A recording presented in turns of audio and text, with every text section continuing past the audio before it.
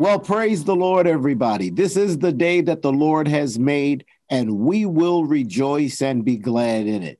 Welcome to the Christian and the Culture, a program designed to help you confront the issues that confront us without backing up and being afraid.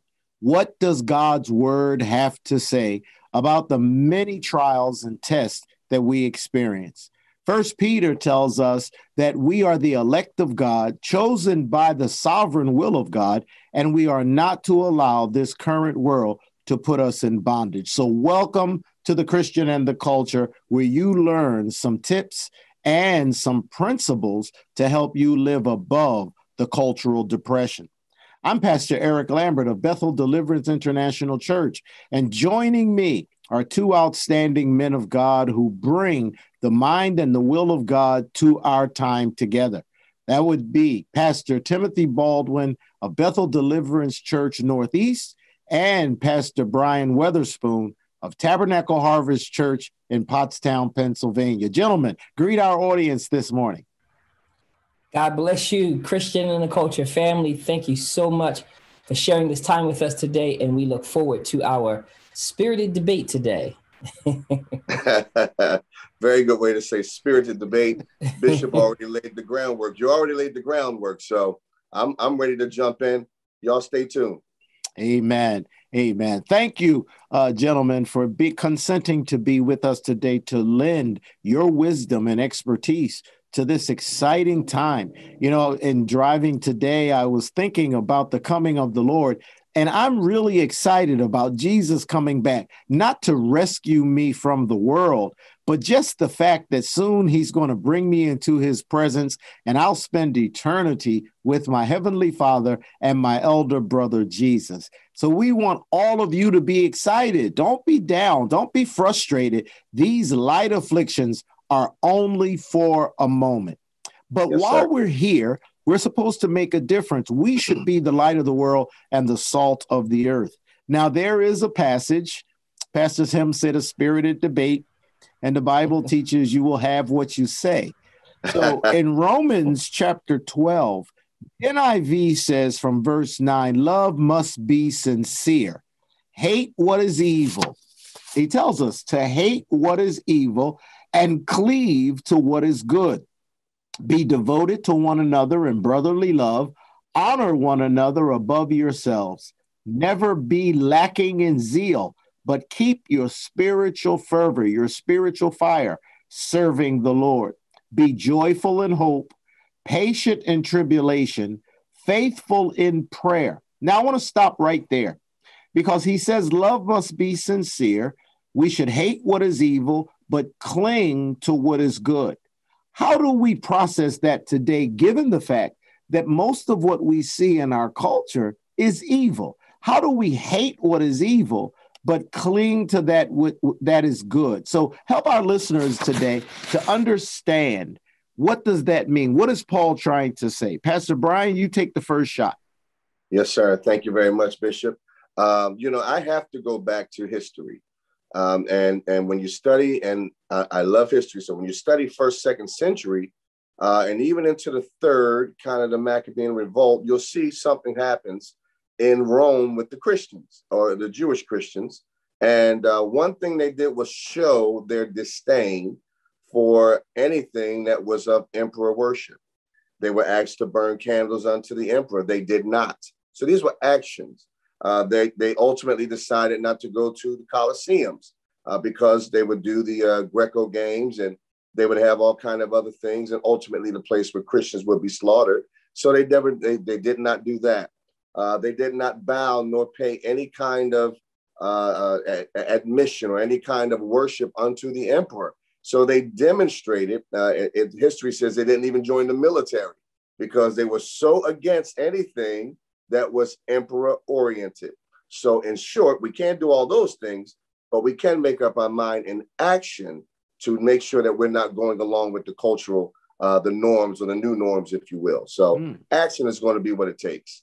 Okay, that's good. Now you you're really laying out the pattern for separate lifestyle. Amen.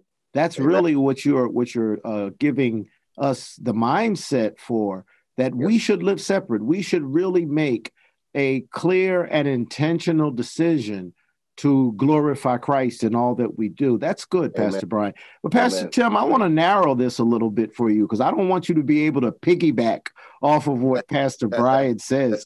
But when we get to this passage that says that we should hate what is evil and love what is good. Now, does that mean that I can isolate certain things and people and hate them? But then when he says hate what is evil, cleave to that which is good. Let's look at the uh, the the lay the mm, the gay and the lesbian community. How do I take that passage, Pastor Tim, and make it work with what we're seeing in the world today? Yeah, Bishop, you know, he uses two words there. He says hate and, and uh, uh, cleave to. He says hate, and we know that hate, that, that word hate is really to dislike or have horror for. That word like actually means to have horror for something or to some, uh, like disdain for it. And then he says to cleave to, right? And so to cleave to is to fasten ourselves to to something, to fasten oneself to or connect ourselves to. And so when I look at it from that perspective and the subject that you just brought up, um, again, as believers, uh, we we have this responsibility to live separate uh, from the world. But when you talk about hating something, from this context, it's not that we hate the people. We don't hate people at all, but we abhor, like the scriptures say, or we are horrified of things that horrify God. And so for us as believers, it's our responsibility to say, hey, listen, we do not condone, stand with, or connect ourselves to things uh, that God would not connect himself uh, himself to things that he have that, that that he abhors. And so we should do the same. And then it says again it talks about connecting ourselves to. We can't connect ourselves to an agenda that god is calling us to disconnect from so, so again, we all have people in our families who sin, who are ungodly, but it doesn't stop our love for them. Okay. But it does not mean that we connect with them and do what they do and agree with what they agree with. And so again, those two words are key for me to abhor and to cleave to. I I, I have horror for the things that God has horror for. Yeah. And, and and I cleave to and love the things that God loves. And and that that's my perspective on it. It's it's it's hard to be a Christian it's easy to get saved. It, it's real easy to get saved. yeah. Confess with your mouth the Lord Jesus. Yeah. Uh, believe God uh, raised him from the dead. You shall be saved. But it's hard to go day by day, walking yeah. through a world that, as Pastor Tim says, continues to commit acts that horrify God, and then we must respond in a way that does not drive the person away from God. I need to share uh, this with you today. I responded to uh, an ad that was in, not an ad, but an article that was in a newspaper or a magazine online. And uh, when I began to talk about it, I got so much backlash. And I mean, it was horrible the things that they were accusing me of homophobia, all this other stuff. And all I said was, I'm in agreement with the word of God that says Jesus loves us that God gave Jesus to die for us, but I am not in agreement with certain lifestyles. And in my ignorance, I just used the word lifestyle to talk about human life. They thought I was singling out the gay and lesbian community, which I was not doing. Right. And this thing went on back and forth. Every time I would try to write something, they would write back, and oh, it was horrible the things that they said. wow. So, Spirit of God put in my mind, stop responding to them in my words and just put scripture up. So yeah. I put up Romans chapter six. All have sinned to come short of the glory of God. And then yeah. I put up, if our gospel is hid, it is hid from those who are lost and whom the God of this world has blinded. Do yes. you know, up until today, I have not received one response from the word of God. Amen. And I Amen. thought yeah. that was very interesting interesting because you can't fight, the word of God. You can fight me, but you can't fight the word of God. Now. I use that to segue into what Paul says here when he says that the Christian being confronted by all of these things, he says we must be joyful in hope, patient in affliction, and faithful in prayer. All right, unpack that for us today. What is he saying when he says that we're to be joyful in hope? How does that happen, Pastor Brian? Yeah, joyful in hope. Uh, you know, once again, we've got to go back to where Paul was. And, you know, Paul is uh, one of those who's one of the first in Rome, uh, not necessarily, not even really build a church in Rome in as much as he's there as a political prisoner, as one who's kind of, you know, uh, against the, uh, the Roman emperor kind of. And so Paul is still encouraging the believer that even though the words preached and things said, Christ returned because they did believe Christ is going to return then. Uh, they didn't think this was going to be 2,000 years in the future. They thought his return was upon them then. And so Paul is still saying, listen, be joyful in the hope that Christ is coming back to get us. Mm. Keep on, stay with fervor, stay diligent. Those are all the words following. Uh, remain faithful, patient, even though you're going to have some tribulation. Don't rush to get out of it. Why? God is going to get glory from all of these things that are going on. But they did believe that the coming of the Lord, coming back to get them, was really upon them then. So okay. he was telling them to stay faithful. That's good. That's good. We should stay faithful. Yes, and sir. never give up. And we should be joyful in the hope that he's coming to get us. Now, Pastor Tim, I'm going to throw two curveballs at you where he says, Pastor Brian's dealt with be joyful and hope.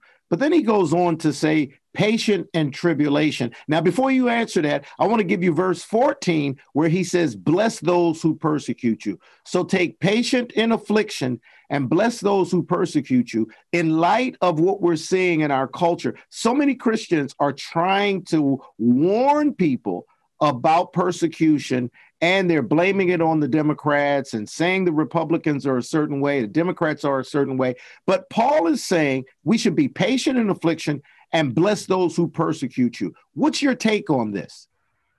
So, so when Paul says be patient, he's saying endure. Mm-hmm. He's saying endure. Uh, again, back to what Pastor Brian says: endure and hold on to your faith. Be patient there because it, especially in the end times as, as, scripture tells us that there's going to be tribulation and there's going to be there's going to come a season where christians have to learn to endure persecution where we have to learn to endure hardship and be able to stand and bear the weight of whatever the hardship may look like. There's coming a time to this country and, and i think that time is upon us where uh, the weight of our belief is going to cause a major level of persecution on us. And we're going to have to do one or two things. We're going to have to stand stand firm or, or there are going to be individuals who flee from the faith because of it. You know, and when he talks about uh, blessing those who curse you, we are to be the model of what love is. Love is patient, love is kind, love is not puffed up, it does not seek its own. All of those attributes of love. When you look at that, bless those who curse you or bless those who persecute you, it's our responsibility again to respond in a way that is uh, the total antithesis of what the world does. Amen. I know I grew up in a home where it says, you know, if someone hits you, you know, you have a responsibility to hit them back. Amen. You know, and that and then you come to Christ and and and then we get this text here that says, Well, bless those who curse you. You know, so again, we have that responsibility to be the example and to to to toe the line of who Christ is and who he was while he walked this earth. Now, you know, many of our people struggle with applying practical lessons such as these. Yes. I mean, a lot of people look for the super spiritual revelations and illuminations from the Word of God, but these are what I like to call practical protocols. You know, yeah. uh, hate what is evil, cling to what is good, be patient, be faithful, continue on in this in this life for God. But notice now, as he continues this this teaching in Romans 12, he says we should strive to live in harmony one with another. Now, if there's one thing that I believe has harmed and hurt the heart of God, is the last political election where Christians were fighting against each other. And I agree, Pastor Brian said there is no organized church in Rome, but there are Christians there. And Paul's Paul's writing and instruction was live in harmony one with the other. Now I'm going to ask both of you gentlemen to give some insight to this because of many of our people coming up there is such a division in the body of Christ along racial lines, ethnic lines, you know, yes. financial uh, arenas. How can we live in harmony one with another? Pastor Brian? Amen. We've got to see the bigger picture, Bishop. And, you know, harmony is not a worldly language, it's a heavenly one because everything in heaven flows. Nothing in heaven is out of order. Everything has its proper arrangement and organization. The world did before sin, it was harmonious. Now that sin has entered in, it's going to take work. And so now we're talking about intentionality. We have to be very intentional to make sure we don't allow racism to govern our heart or motives. Make sure money is not the motivator. So for us, it's going to take more work, be very intentional about bringing a harmonious standard to it. Now, I'm going to say this last thing. Pastor Tim talked about persecution. You mentioned it, Bishop. It's in the text. It's going to happen. If nothing else, if our intentionality doesn't work, if our gatherings don't work, persecution will. There will be one thing that will make us united, and it has always been persecution to move racism, to move classism, to move all the other isms, persecution to make us one. Now, Pastor Tim, the world persecutes us from the outside, but we all know that there is internal persecution as oh, well. Yeah. Pastor Tim, could you speak to our listeners today and uh, help us to understand when Paul says that we should live in harmony one with another? What are some of the things we should avoid within the household of faith that breaks our harmony? Uh, you know, Bishop, I, I, would just put an umbrella over and say anything that causes disunity, uh, colorism, as Pastor Brian said, um, economic status, um, size of church, uh, denomination, uh, any of those things that causes division. When you talk about harmony, and uh, uh, one of the things that came to my mind was, what is what am I? Uh, what do I have an allegiance to? Mm. And whatever I have an allegiance to is going to come out in my heart. And so when you see within the body of Christ individuals fighting over politics, fighting over you know racism, and and can't come together, it really displays what's on the heart of individuals. And so uh, our hearts have to first be knitted to the heart of the Lord, and then out of that flows all of the the, the things that allows us to be uh, harmonious. And then lastly, uh, harmony doesn't mean that I'm going to agree with everything that you say or do, but it means that we have an end goal. And if we can see the end goal, then we can work together to that end goal. But but again, there's so much division among us. And, and I would say anything that, that that creates division, you know, we, we should avoid it. Pastor Brian? Can I segue onto that one as well and just add on to it? You know, William Seymour of uh, the Azusa Street Revival, one of the forerunners of Azusa Street Revival, uh, I remember I read his book or read the documentary, and kind of one thing the Lord told him not to do was don't put a title on what I'm doing. Don't name it. Don't make this a denomination, if you will. And you know, we're human, so sometimes the very thing the Lord tell tell us not to do uh, could be the thing that we ultimately do, and it is documented. The moment they put a name to the move of God, immediately the Spirit stops flowing that way. So there's something about that denominational twist that also brings the level of division. Pastor Tim named it. I just wanted to throw that in there that it's documented. It was naming God's move that killed the flow of the spirit and wow. the in the churches. Yeah, that was um that was very insightful, Pastor. But you know, my wheels are clicking because I go back to the Tower of Babel. Yes. And the Bible said the whole earth was of one speech. Yeah. And when God saw that they were going to use that one speech to mm. literally just get out of his will, what he did was cause them to have different speech.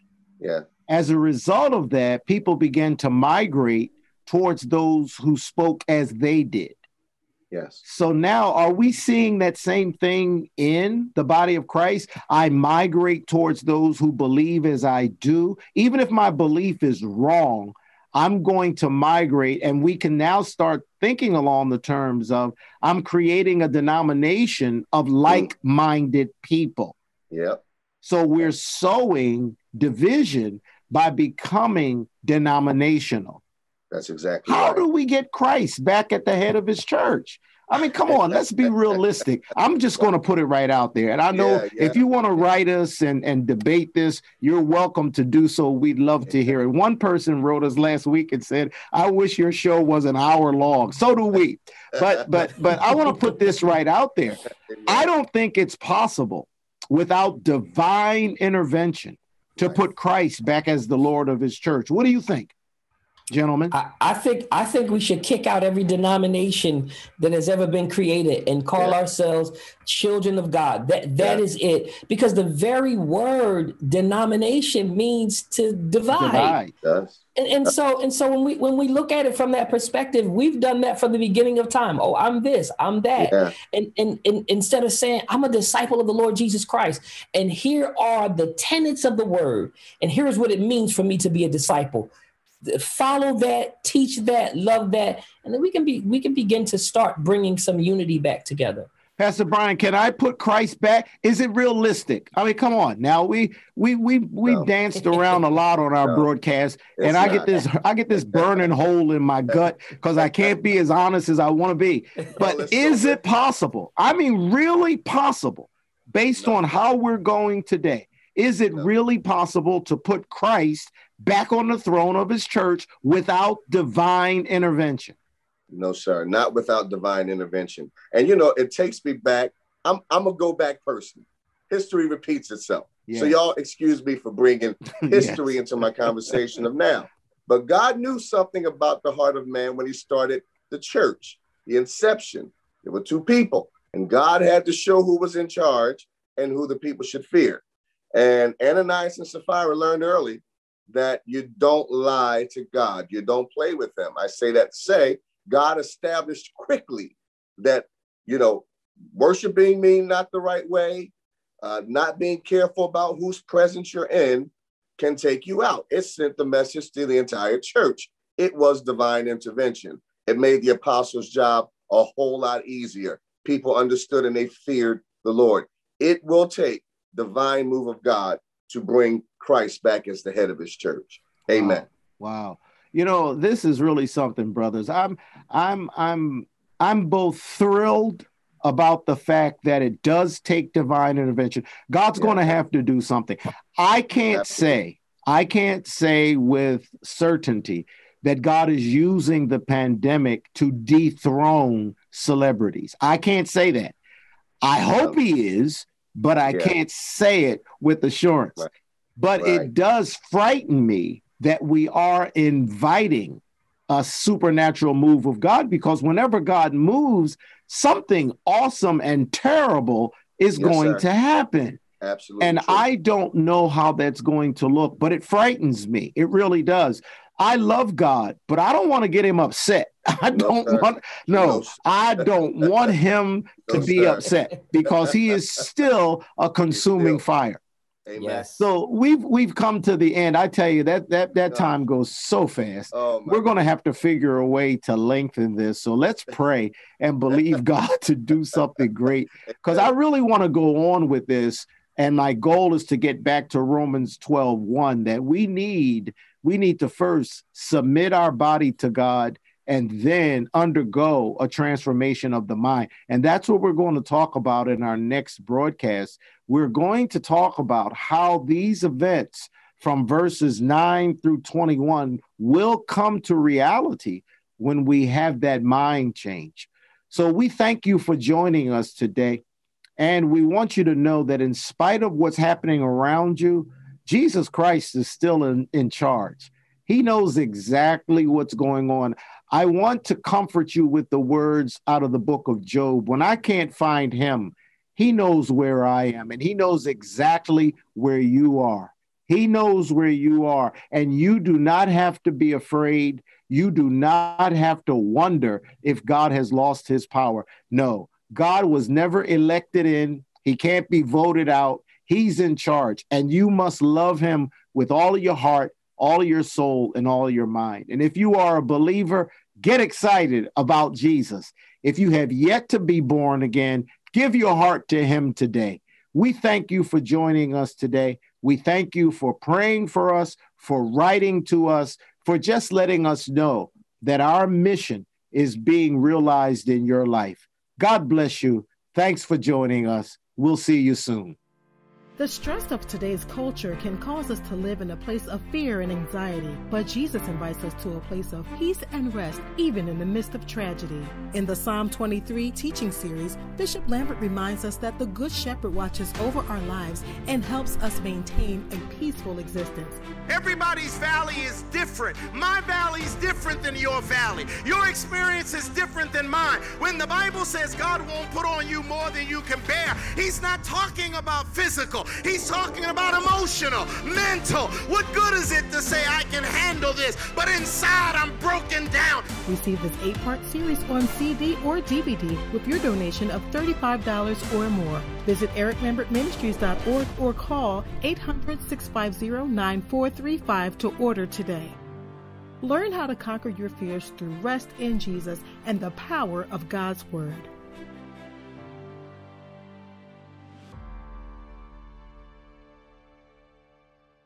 Praise the Lord.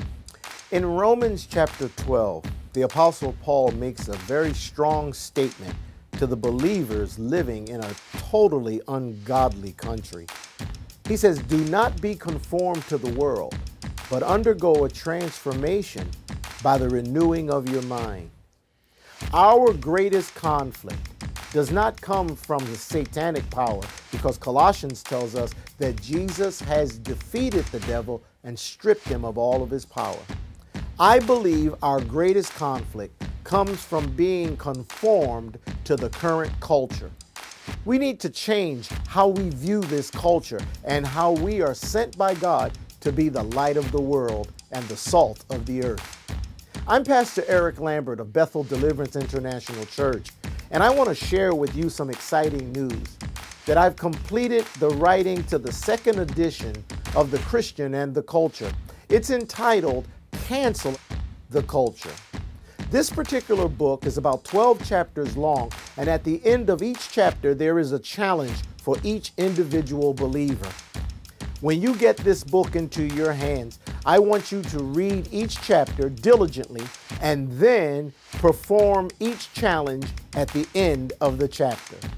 So I'm inviting you to purchase your copy of The Christian and the Culture Cancel the Culture. And God will bless you as you take those steps to divorce yourself from an antichrist culture. I hope to see you in church, and I hope to hear from you by email or letter that you've read the book and it has been a blessing to you. May God continue to bless you as you continue to look to Him.